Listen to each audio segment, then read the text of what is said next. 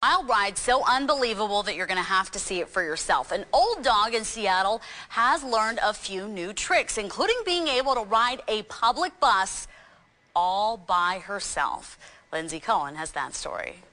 Of the tens of thousands of riders Metro Transit moves each day, few are greeted by a smile when they slobber on the seats. She sits here just like a person does. She's a person. And all the bus drivers know her. Meet Eclipse, a black lab bull mastiff mix who, like human riders, uses Seattle's buses to get around.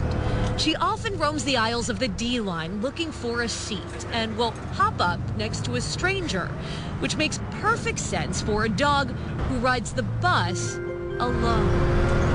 She gets on and off by herself. She was most concerned just about being able to see out the window. It was almost unbelievable to local DJ Miles Montgomery. And I thought, man, oh man, this is this is nuts. He snapped a selfie with the dog after seeing her solo ride firsthand. So the dog gets off at the at the stop at the dog park and gets off the bus.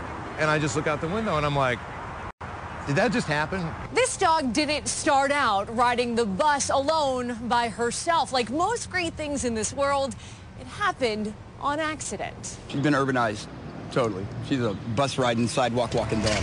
The dog actually belongs to owner Jeff Young, who says it started with constant trips together to the dog park in Belltown.